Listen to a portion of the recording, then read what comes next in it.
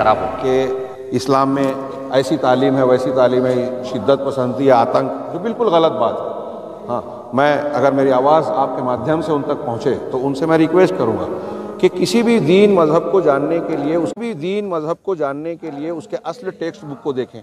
आप दूसरों की बात, मुझे अगर हिंदू धर्म के बारे में मालूम लेना है तो मैं किसी ईसाई की बात को पढ़कर नहीं मानूँगा। हिंदू धर्म की जो टेक्स्ट बुक है, उसको पढ़ूँगा।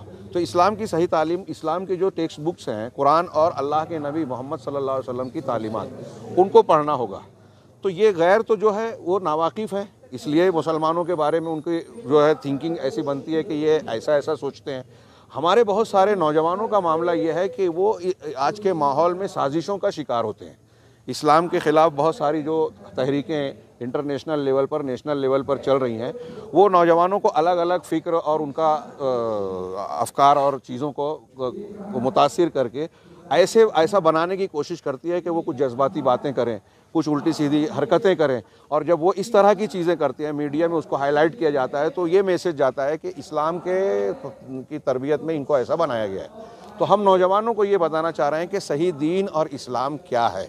आप अगर समाज और माशरे के लिए अच्छा करना चाहते हैं तो इस्लाम की सच्ची तालीमत को इख्तियार करें आप। तो आप लोगों के लिए, सिर्फ़ मुसलमानों के लिए नहीं, गैरों के लिए भी, मुल्क के लिए भी आप अच्छे और बेहतरीन इंसान बनेंगे। और मैं ऐसा मानता हूँ, मैंने बहुत सारी स्पीच में कहा कि अगर एक मुसलमान मोहम्मद सल्लल्लाहु अलैहि वसल्लम की तालीमत पर अमल करेगा, जैसे सच बोलना, लोगों का एहतराम करना, और दूसरी बहुत सारी चीज़ें तो मैं ऐसा मानता हूँ कि पुलिस वाले भी और एजेंसीज भी ये बोलेंगे कि एक मुसलमान है तो वह ऐसी गलत हरकत नहीं कर सकता। कि किसी बेगुनाह को मारना तो दूर की बात है, उसे एक तमाचा मार देवे। नहीं कर सकता।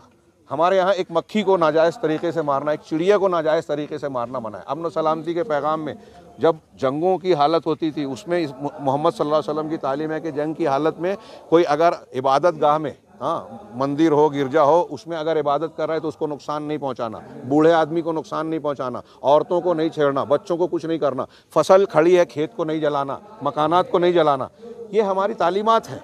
और हमारे नौजवानों को ये बताया जाता है कि अगर कोई मुखालिफ है तो तुम उसके साथ शिद्दत इख्तियार करो और कुछ नौजवान धोखा खा के ऐसी कुछ बातें कर लेते हैं तो गलत मैसेज जाता है। तो हम सही मैसेज और अमन सलामती का वो पैगाम जो इस्लाम सही तरीके से देता है, मोहम्मद वसल्लम की तालीमत देती है, हम उसको ताज़ा करने और की कोशिश कर रहे हैं। और ये नौजवानों को मैसेज देना चाहते हैं कि दुनिया में भलाई और सच्चाई, अच्छाई, अमन फैलाने का, शांति फैलाने का तरीका वही है जो मोहम्मद वसल्लम ने तालीमत में दिया। आप दूसरे तरीक़ों को फॉलो मत करो। सर, क्योंकि मोहम्मद